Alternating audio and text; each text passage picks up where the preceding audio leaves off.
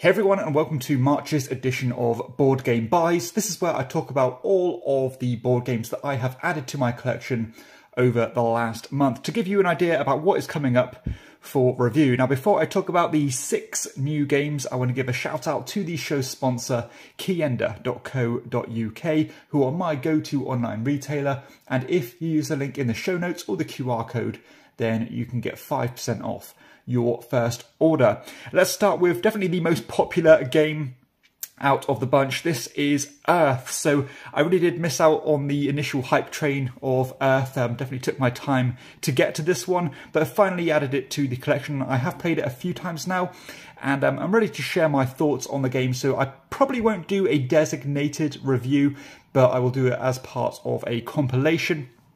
But um, I'm probably going to uh, waste my breath talking about Earth here because you guys probably know more about this game uh, than I do. But essentially, it is a, um, a tableau builder style game kind of an engine builder as you are playing cards into this um, 4x4 grid, uh, collecting different ways to score points, such as building these um, these kind of towers. You're putting these little sprout markers on these cards, all to get you points. Um, definitely a point salad style game. get points for this, points for that, and um, tons of interaction in the game uh, as well as whenever you take an action, everybody else will get kind of a follow up, weaker action of that. So think of something like Puerto Rico or Race for the Galaxy. Galaxy. It does have that feel to it. So I'm not going to say much more than that. Again, it's a very popular game, definitely um, amongst the most popular and most revered games of 2023. Uh, um, but I'm looking forward to sharing my thoughts about it to, to let you guys know if I think it is as good as the others say it is. So that is Earth. I also um, very kindly was um, given a copy of Equity. So this is a game I knew nothing about, and I still kind of know nothing about because I've not read uh, the rulebook yet. But this was very kindly gifted to me um, by the designer, who I believe is a, um, a Norwegian uh, gentleman. So thank you to I believe it's Marcus who um who posted this one to me. Now I like my um, economic games, um, kind of um, stocks and shares that kind of thing, and this one I believe is not too heavy. I think it's, uh, well, according to Marcus, it's got a lot of player uh, interaction, so you're always engaged in the game. So again, I'm going into this one completely blind. It could be good, um, it might not be, but I'm certainly going into it with um, you know with optimism, and I hope it is going to be fun. So that is uh, Equity. I picked up a copy of Quicksand. So Quicksand is a real-time cooperative games. Now this is actually um, two genres that I normally don't get along with. Um, so you might ask, why did I pick this one up? Because I don't know, I, something about this one uh, appealed to me. So you can see here, this one uses sand timers. And I think the thing that appealed to me about this game um, is the fact that it does seem so simple. So essentially, you're going to have this track of these tiles, and every player is going to have a hand of cards which will either have a shape or a colour on it. And on your turn, you're going to play one of those cards, and all the hourglasses that are on that either shape or colour will jump onto the next tile and flip over. So it's all about trying to keep these sand timers alive and not to let them kind of run out of sand, of course. Uh, and there's a bunch of different challenges, all increasing in difficulty. I have yet to play this one. It could be great, it could be terrible. I don't know. The jury is still out, but um, we will see. Hopefully, I'll get this one played within the next week or so. So that is Quicksand. Definitely yeah, a novelty factor, but I kind of like a novelty game or two in uh, the collection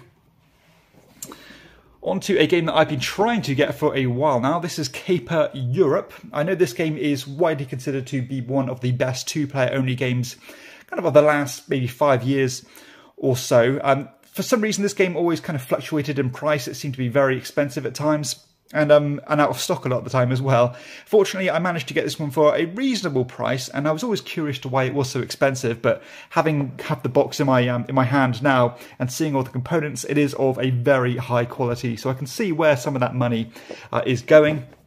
Now, I believe this is a card-driven um, tug-of-war style game. You know, some of those games hit for me, some of them miss for me, but I thought that many people can't be wrong on this one because it does seem to be, you know, very well respected even by um, by reviewers and um, content creators who I respect myself. So uh, again, I'm going into this one with with cautious optimism, um, and hopefully it is as good as they say. So that is Caper Europe.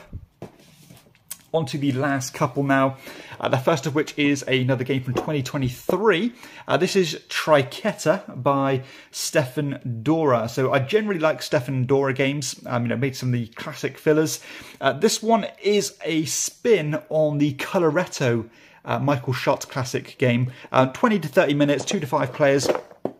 And it does have that coloretto mechanism where you can either add a tile, in the example, to a row, or you can take the entire row. Now, the twist on this game is that you are trying to score trios of all the different animal types. And if you do, you are going to get the points um, kind of depicted on those tiles, and the tiles are very nicely um, put together here. And if you go under, you're going to be okay because you're going to get a point for each tile. But as soon as you go over, you are going to start accruing negative points. So it really is a balancing act, a, pacing act as well. You don't want to get you don't want to get too much too soon because sometimes you might be forced to take tiles that you don't want, which could, of course, sabotage uh, your scoring. So again, I'll probably do a designated review of this one because it's only going to take me uh, a very short time to put it together because it is a very simple game.